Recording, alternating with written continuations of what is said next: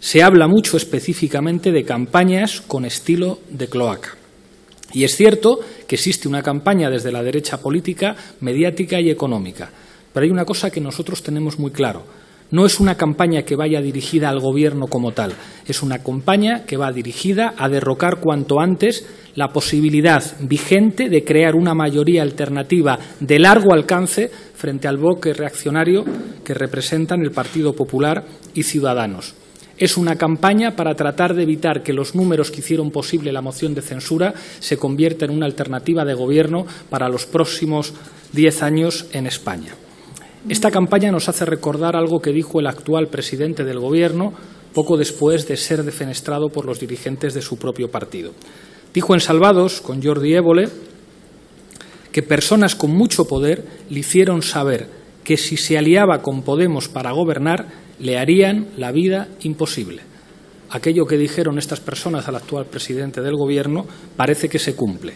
Y los enemigos del cambio quieren cerrar las puertas a cualquier posibilidad de cambio real en este país de manera preventiva, acabando de la manera más rápida posible con cualquier posibilidad de que la suma de acuerdos que hizo posible la moción de censura se pueda convertir en una alternativa de gobierno duradera.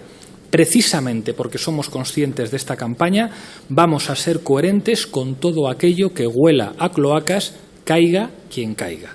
Algunos de los que hoy padecen la acción de las cloacas miraron hacia otro lado cuando éramos nosotros y los independentistas los únicos atacados. Hoy Villarejo y los esbirros y sus esbirros mediáticos atacan al gobierno, pero nosotros no olvidamos que fue el PSOE el que protegió a Villarejo uniendo sus votos al PP y a Ciudadanos cuando nosotros pedimos que compareciera en el Congreso para dar cuentas. Si algo se ha demostrado en estos meses es que en política la imagen, la comunicación y el marketing son activos y son importantes para la estabilidad de un gobierno, pero no bastan. La correlación de fuerzas parlamentarias y la capacidad para sumar los apoyos necesarios, tanto para la labor legislativa como para la defensa del Gobierno ante cualquier ataque de las cloacas, son mucho más importantes que el marketing. Por eso, de la misma manera que en aquellas cosas que el Gobierno hace bien, nuestro reconocimiento y nuestra disponibilidad para apoyar al Gobierno va a ser siempre una realidad, hemos demostrado también en estos meses que ni titubeamos ni miramos para otro lado cuando toca pedir responsabilidades al Gobierno, caiga quien caiga. España no puede tolerar que en su Gobierno haya personas que trataron de defraudar Hacienda, que se aprovecharan de su condición para recibir favores académicos o que puedan tener relaciones con las cloacas del Estado. Esa España ya forma parte de la historia. Soy optimista respecto a la posibilidad de que en los próximos días cerremos un acuerdo con el Gobierno para los próximos presupuestos generales del Estado. Y quiero felicitar al equipo que está trabajando en ello, especialmente a Pablo Echenique, a Yone Belarra, a Chema Guijarro, a Yolanda Díaz, a Enrique Santiago, a Lucía Martín y a todos los compañeros y compañeras que están encabezando las negociaciones con los ministros.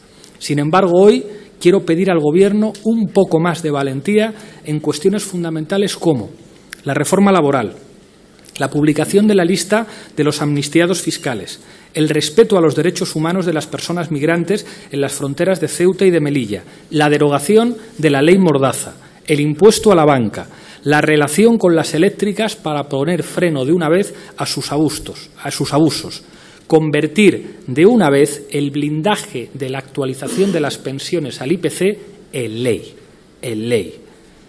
Y por último, quiero pedir al Gobierno su compromiso para dejar de encubrir la corrupción en torno a la monarquía.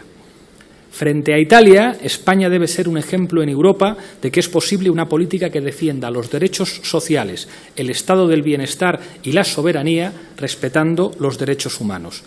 Sacar al dictador del Valle no puede ser solo un gesto, debe ser la señal de que España está dispuesta a encarnar un espíritu antifascista en Europa.